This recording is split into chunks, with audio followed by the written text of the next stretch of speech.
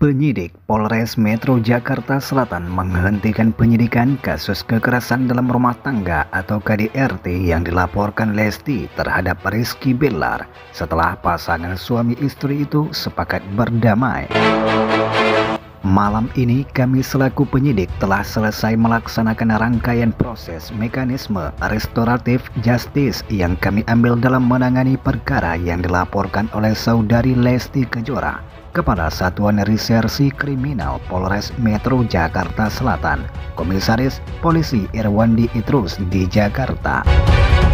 Irwandi mengatakan kedua belah pihak juga telah memenuhi seluruh persyaratan yang diperlukan untuk menyelesaikan permasalahan rumah tangga Lesti Bilar dengan perdamaian.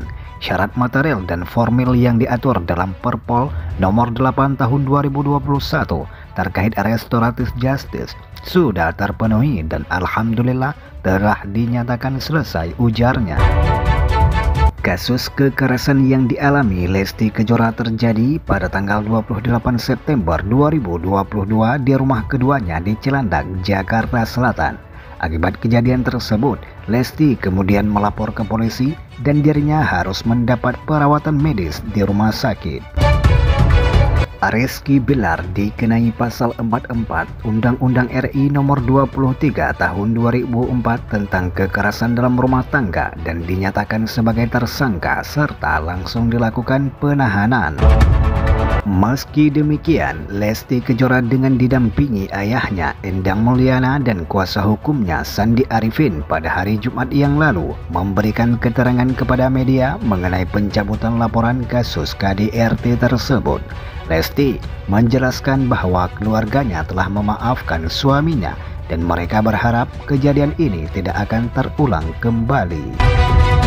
Dia juga mengapresiasi kinerja kepolisian yang bergerak cepat memproses pelaporan yang dilakukannya hingga sampai saat ini, meskipun pada akhirnya laporan tersebut dicabut. Menurut Lesti Kejora, suaminya sudah sangat berjanji tidak akan mengulangi tindakan kekerasan dalam rumah tangga dan bahkan menuangkan dalam perjanjian tertulis serta memohon maaf kepada kedua orang tuanya. Itulah informasinya. Jangan lupa untuk mendukung channel ini dengan cara subscribe, like, share, and comment. Dan jangan lupa untuk menekan tombol loncengnya.